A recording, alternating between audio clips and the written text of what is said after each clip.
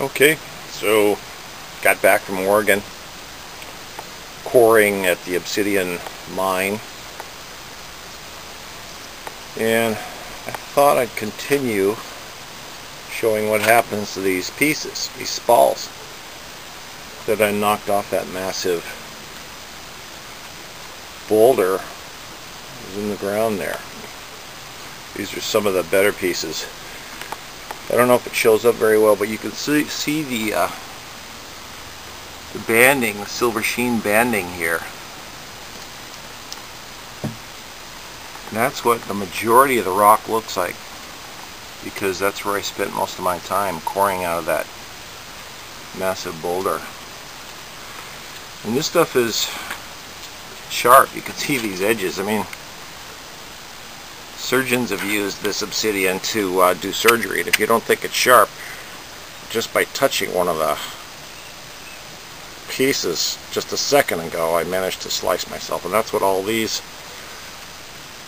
nice little nicks and cuts on your hands do when you don't use protection. This is a piece of fire obsidian from a different quarry site up there. It has some nice red flamish type streaks and patterns through it. This comes from the area of the mahogany or the, the leopard quarry area. And this stuff is just jet black. Beautiful. Very few imperfections. You can find rocks up there. But it's difficult to find massive boulders like I found in the Silver Sheen area. Anyway, that's just a sample of some of the rocks I brought back. Here's a few more.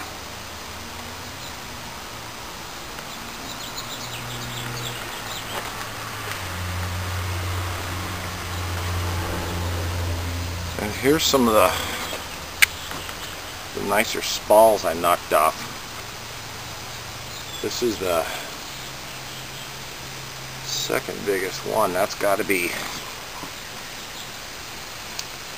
I guess, it'd be about 40 or 50 pounds right there.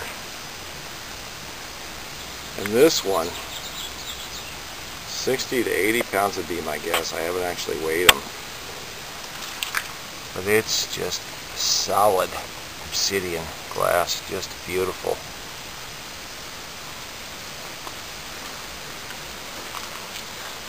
And Oliver's waiting for me to throw the ball. Of course, that's his life.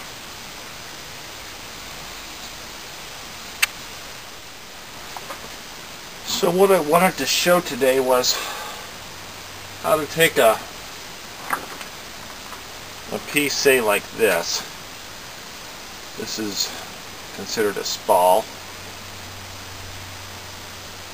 A large flake, if you will.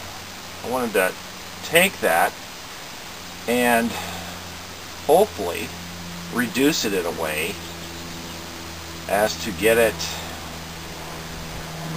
conforming to the preform stage of a projectile point.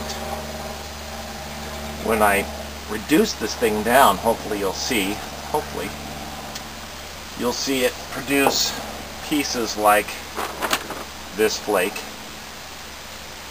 very sharp razor edge here. Classic flake shape. Stress fractures all along here. I don't know if you can see all that. Thick edge, feather edge. All these are very, very usable pieces. Some of the mahogany, I think it's called uh, leopard. Kind of a pumpkin color with the black this is all obsidian. It might not look like it because it's not black, and not all obsidian comes black. There's dozens and dozens and dozens of varieties. I think there are hundreds of varieties of different types of obsidian available throughout the world. Oregon offers a huge amount of top quality. Anyway, that's a good example of a of a cortex part, the outside of the rock, if you will. The cortex was popped off and that flake is very usable to reduce down to the next stage for a uh, projectile point. Here's another one. Again, classic sharp, sharp edge. Cortex from the outside of the rock. And when you break it open, that's what you've got. So you've got a lot of possibilities there for spearhead projectile point. Here's some more of the black, classic jet black. It's sometimes quite translucent with a gray coloration or even a kind of a purplish smoky color to it, which is, I think, just beautiful, makes beautiful arrowheads. Lots of varieties. Classic nodule cortex there. Struck that right there. Bulb of percussion right there. You can see how it's bulbous, if you will. And uh, I'm going to take these pieces and reduce them down to arrowheads, projectile points. Extremely sharp, razor sharp edge here.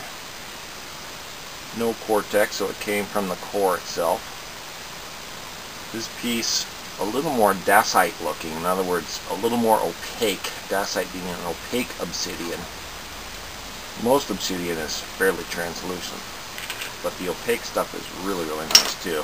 Classic flake bulb of percussion right here. You can see where I struck it at a specific angle, knocked it off, knocked it off the uh, core, and that's what's left. It's even got a curvature to it. It's the physics of way obsidian reacts to uh, force. Anyway, so I want to reduce these large chunks down to these smaller bits and sometimes what's left over is a fairly nice core that I can make a piece out of. This is an example of oftentimes what's left when I reduced it down as the flakes get smaller and smaller and of course what I did was broke it. Got a nice preform stage and used too much force or did something, but I broke it. And that's how you learn, I guess.